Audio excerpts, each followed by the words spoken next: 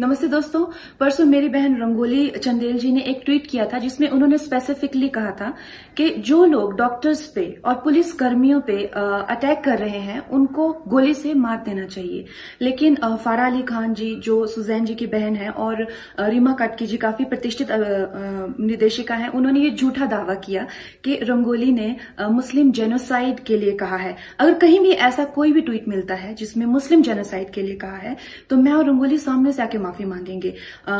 क्या वो ये कहना चाहती हैं कि हर मुस्लिम जो है वो आतंकवादी है? हमारा ये मानना नहीं है कि हर मुस्लिम डॉक्टर्स को अटैक कर रहे हैं, कि हर मुस्लिम जो है वो पुलिस कर्मियों को अटैक कर रहे हैं। और मैं केंद्र सरकार से अपील करना चाहती हूँ कि जो ट्विटर जैसे सोशल मीडिया प्लेटफॉर्म्स हैं, जो कि यहाँ का ही खाके करोड़ों अरबों में पैसा कमा के हमारी ही जो है कश्ती में छेद डाल रहे हैं, यहाँ आप प्रधानमंत्री जी को के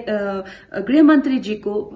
आतंकवादी कह सकते हैं आरएसएस आरएसएस जो जो कि राष्ट्र स्वयं सेवा संघ है, जो कि दिन रात लोगों की सेवा में लगा, उनको आतंकवादी कह सकते हैं, मगर आप आतंकवादियों को आतंकवादी नहीं कह सकते। तो इन प्लेटफॉर्म्स का दाना पानी बंद होना चाहिए। मुझे पता है अभी देश और चीज़ों से जूझ रहा है, मगर फिर भी we have to find a way to completely demolish these platforms and and start our own platforms and second मैंने आज बबीता फोगट जी का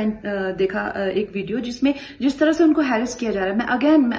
केंद्र सरकार से अपील करती हूँ कि जो भी इंसान राष्ट्रवाद बात के लिए आवाज़ उठाता है, उसको इसी तरह से शोषित किया जाता है, उसको, उसकी नौकरी छीन ली जाती है, कईयों का खून किया जाता है। आज अगर बबीता जी को कुछ भी होता है, कभी भी कोई दूसरी राष्ट्रवादी आवाज़ नहीं उठेगी, उनको सुरक्षा प्रदान की जाए और उस, इसी के साथ हैप्पी लॉकडाउन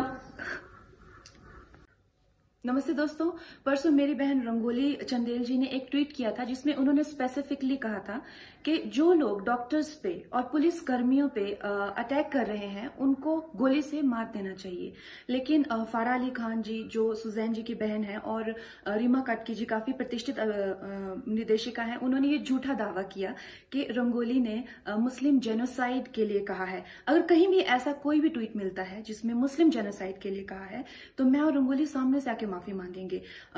क्या वो ये कहना चाहती हैं कि हर मुस्लिम जो है वो आतंकवादी है। हमारा ये मानना नहीं है कि हर मुस्लिम डॉक्टर्स को अटैक कर रहे हैं, कि हर मुस्लिम जो है वो पुलिस कर्मियों को अटैक कर रहे हैं। और मैं केंद्र सरकार से अपील करना चाहती हूँ कि जो ट्विटर जैसे सोशल मीडिया प्लेटफॉर्म्स हैं, जो कि यहाँ का ही खाके करोड़ों अरबों में पैसा कमा के हमारी ही जो है कश्ती में छेद डाल रहे हैं, यहाँ आप प्रधानमंत्री जी को के जी को आतंकवादी कह सकते हैं। आरएसएस जो जो कि राष्ट्र स्वयं सेवा संघ है, जो कि दिन रात लोगों की सेवा में लगा, उनको आतंकवादी कह सकते हैं, मगर आप आतंकवादियों को आतंकवादी नहीं कह सकते। तो इन प्लेटफॉर्म्स का दाना पानी बंद होना चाहिए। मुझे पता है अभी देश और चीज़ों से जूझ रहा है, मगर फिर भी we have to find a way to completely demolish these platforms and and start our own platforms and second मैंने आज बबीता फोगट जी का देखा एक वीडियो जिसमें जिस तरह से उनको हैरेस किया जा रहा है। मैं अगेन केंद्र सरकार से अपील करती हूँ कि जो भी इंसान राष्ट्रवाद के लिए आवाज़ उठाता है, उसको इसी तरह शोषित किया जाता है, उसको, उसकी नौकरी छीन ली जाती है, कईयों का खून किया जाता है। आज अगर बबीता जी को कुछ भी होता है, कभी भी कोई दूसरी राष्ट्रवादी आवाज़ नहीं उठेगी, उनको सुरक्षा प्रदान की जाए और उस, इसी के साथ हैप्पी